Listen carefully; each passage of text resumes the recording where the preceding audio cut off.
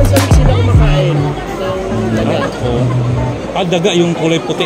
Oh, yung daga ng puti. Oh. Oo. Anong tawag mo ng daga niya? Anong tawag mo? Ay, ay, mga ano lang, mga rats lang naman ang tawag sa kanila.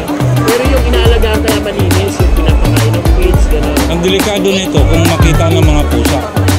Ayun, ay, pero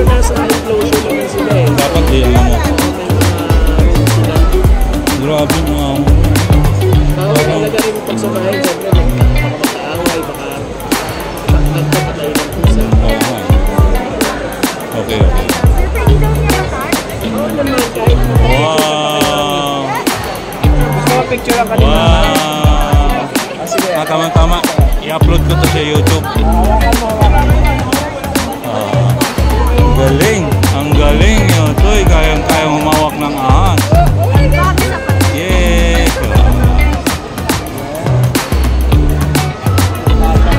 Ball python po. Ball python.